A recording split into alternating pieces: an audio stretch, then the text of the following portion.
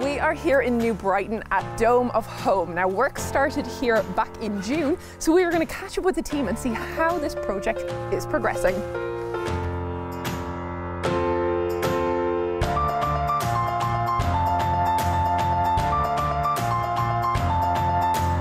I've been part of this since uh, 2011 when the Institute of Christ the King were invited by Bishop Davies of Shrewsbury to come over and take over the running of this church and since then we've done, um, this is our fourth National Lottery funded project to actually restore the church.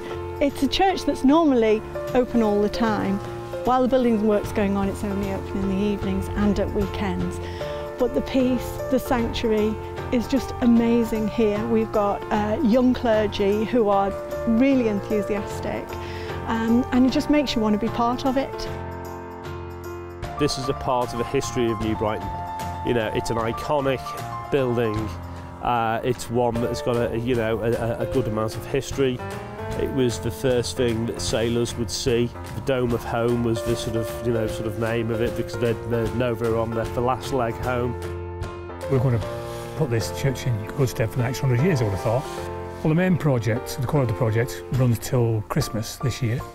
Um, but as we're going along, we're, we're picking up new packages of, of, of work that um, and extras. So I, I think it will end up being the first quarter of next year before it, it, it's finished. Favourite thing about the church really is it's got to be the Gregorian chant. When you go in, you sit in silence.